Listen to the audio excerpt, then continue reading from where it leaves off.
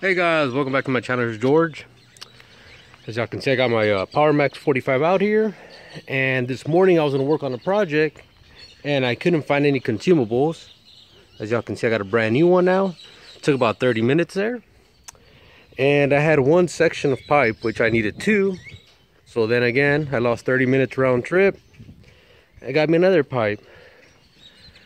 So then, my air hose decided to quit on me. So I had to pick up this little temporary one. There's a the half inch one I use versus a 3 8 I believe or something like that.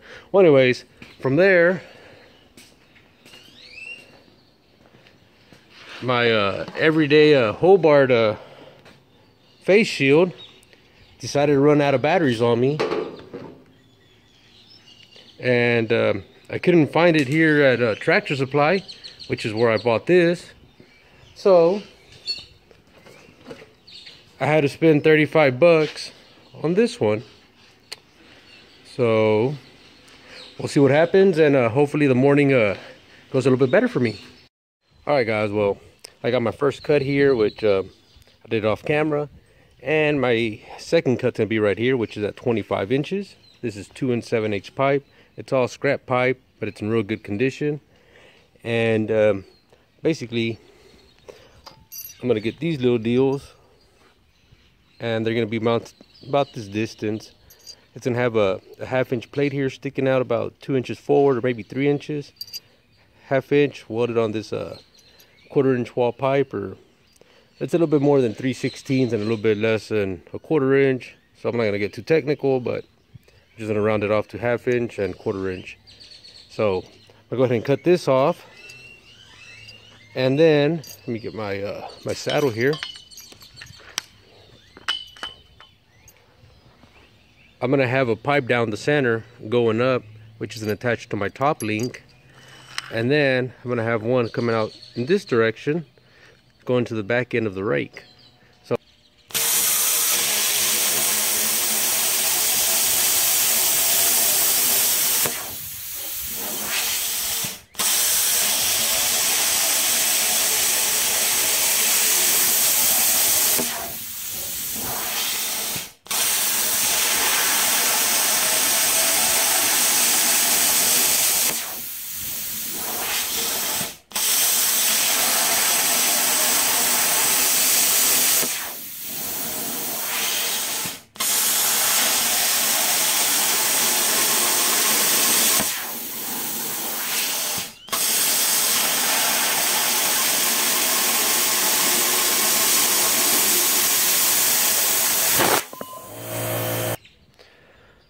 all right guys well the next thing i did was um, i got a piece of angle iron and i laid it across this pipe to kind of give me the the center of the pipe. That when i sit my uh, my saddle i can kind of uh, use that line and use it as a reference to the center of this uh, hinge point. And um, basically just put it as far back as i wanted to marked it got it ready to cut. And then i got a measurement from here to the other side of the pipe I don't know if y'all can see, which is about right here. This is about three feet, eight inches. The rake's gonna be about seven feet, so I only need about three and a half feet.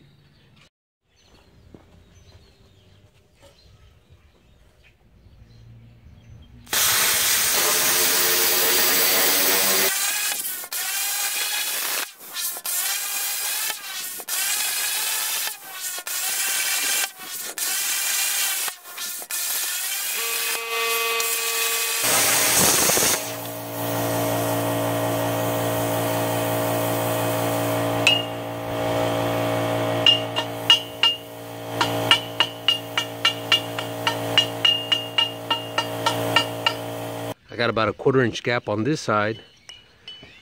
And what I have to do is kind of bevel this right here on the inside part, bevel it down a little bit, or I could even notch that out a little bit. And it should bring this a little bit closer and should make things uh, a lot stronger and uh, a lot better to weld on. So I'm gonna go ahead and mark what I'm gonna cut, what I'm gonna trim, and we'll go from there. All right, guys. Well, I was able to bring things a little bit up, a little bit closer. I just notched out this this top part and the bottom part. Um, as y'all can see, it's uh, pretty squared off on both edges, so the gap is uh, minimal on this side. Oops, and minimal on this side. I might have maybe about an eighth of an inch there, which will fill up nicely with a uh, 6011 because I'm on a on an AC on an AC uh, welder.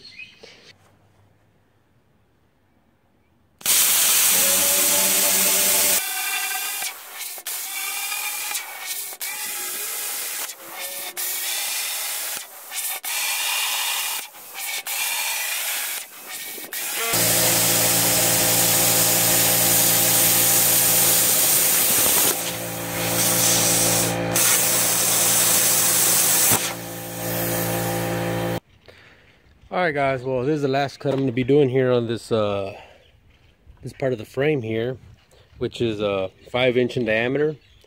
And this is basically what i'm going to use as a swivel. The two and three eighths pipe is going to slide inside.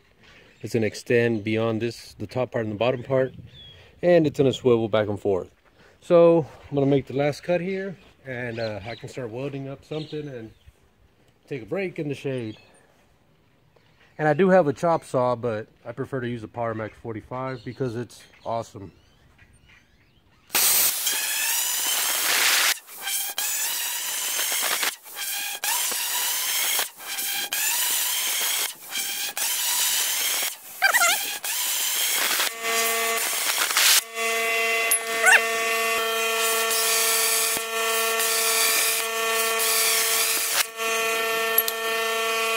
All right, guys, well, everything is perfectly where I want it.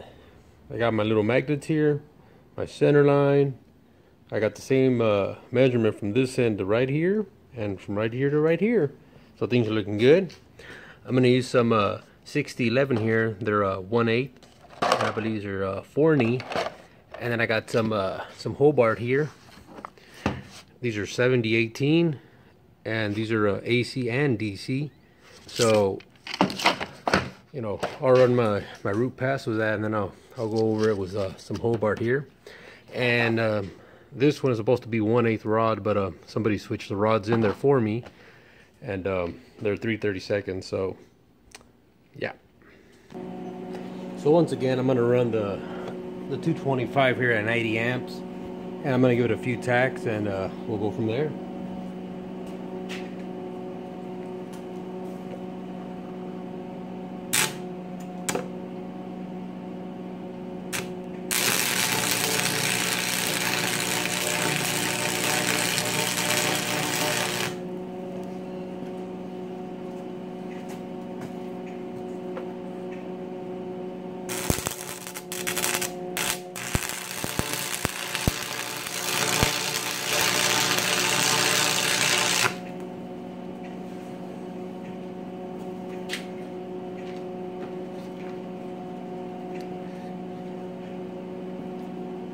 And that should be kind of kind of good there to remove my magnets already. All right guys well i did some uh 6011 ac here and i went ahead and got my grinder and took off everything i didn't like. I got a little uh little hole here i'm gonna have to take care of right now.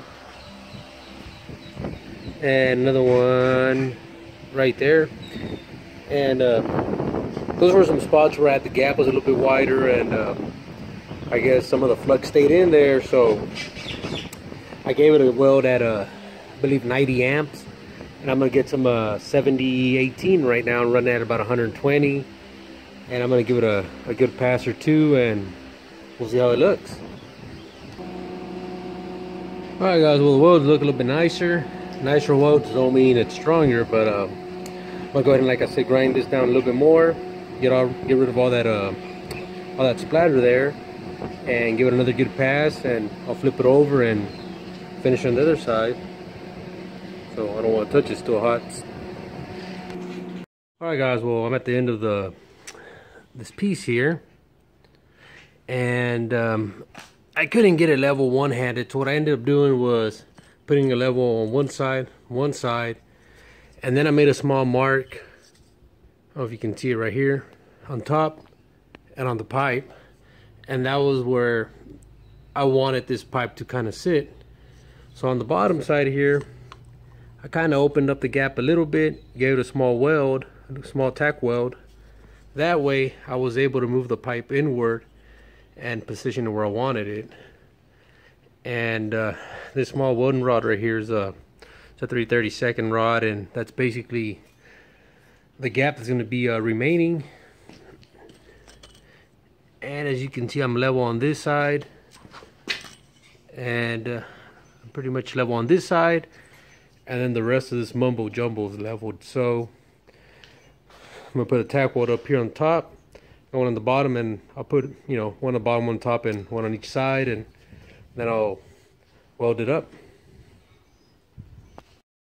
Alright guys it's taking longer than I expected but I got this welded up on this side I gave it about four uh, I gave two uh, I gave it a root pass another pass over it and then I overlapped two welds and uh, same thing on this side and I still got to put a little little uh, quarter inch piece of strap there to just hold it in place. I wanted to make sure this fit in here and uh, this this might be the pipe I use I'm not too sure but it's two and three eighths and it's a 3 8 uh, wad thickness versus a 3 16 but anyways on the top part where my hand is that's where the locking mechanism is going to go and it's going to hold the blade in whatever angle I decide to use it in. And on the bottom is going to be uh, what welds onto the frame of my rake. Alright guys well I got this piece here. As you can see my level I got to move it to the left. And I got these two magnets holding it in place. The pipe is in the center um, with this joint and it's in the center with this joint here. Now the pipe is level in this direction but it has to move to the side. So what I'm going to do right now is I'm going to put a weld on this side or a tack weld. Once I have the tack weld there I'll go ahead and tap the pipe on this side and once it's right on the mark I'll verify the level on the other side make sure everything's plumb and then I'll give it another tack weld on this side and we'll go from there Guys, as y'all can see, I have a tack weld here. And I went ahead and put this uh, small rod here to kind of hold my level here right on the dot. And pretty much right on the dot here by using this other rod here. So I'm going to give it a quick tack on this side and then probably somewhere around here. And I'll work myself around the pipe. Alright guys, as y'all can see I got this brace right here and it extends about two-thirds of the way. Because here on the back I'm gonna have that little locking mechanism that I was talking about somewhere here. So I didn't want to extend it that far. And now I'm debating if putting a brace from here to here or from here to here. 10 by 10 or 10 by let's say 30 inches or so. But uh, I'll go ahead and weld this in place and uh, drink a cup of water and I'll think about it. Alright guys, I'm gonna cut some uh, some half inch steel here and uh, let's see how it goes.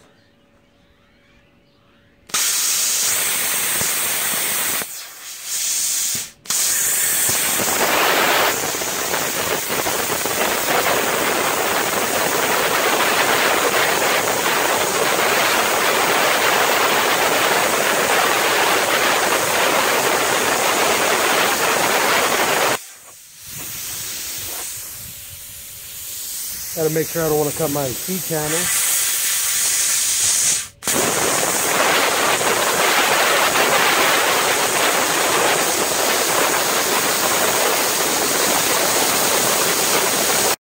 Alright guys, well, I got this section cut right now, and I'm going to get ready to cut these circles in here.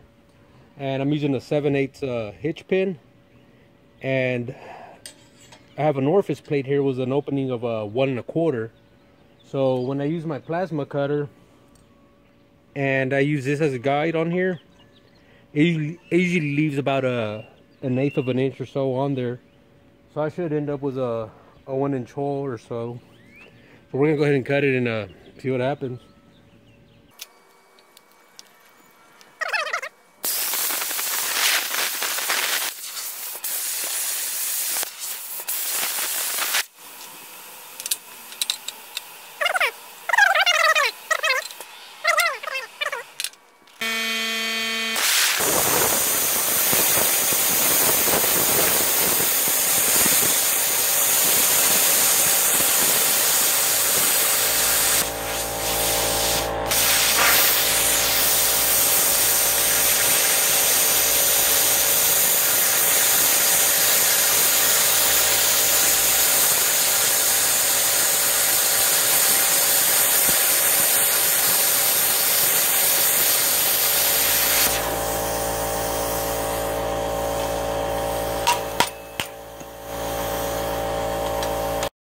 All right guys well i got the two plates here. They're already cooled down and um, i got them spaced properly here at uh, two inches and seven eighths by using a bolt and four nuts. These two inward nuts are for the spacing and the outer ones are to hold my plates in place.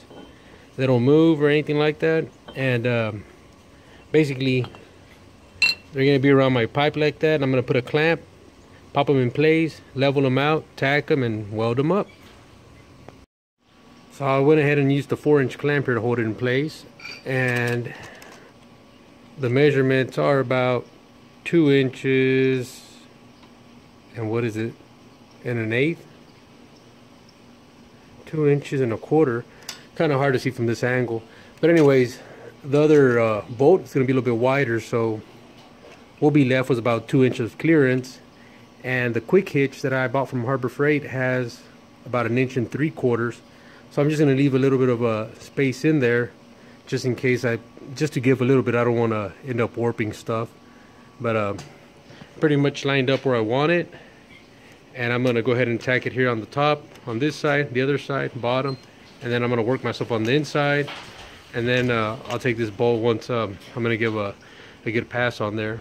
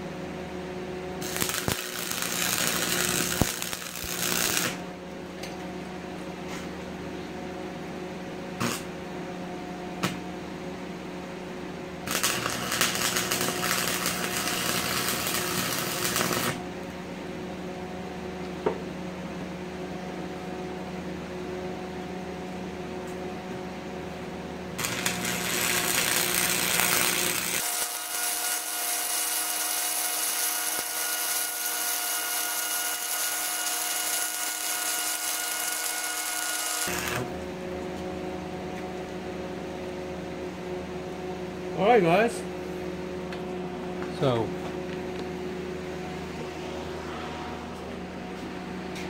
can't see, but gave it a pass all along the pipe and the half inch steel there.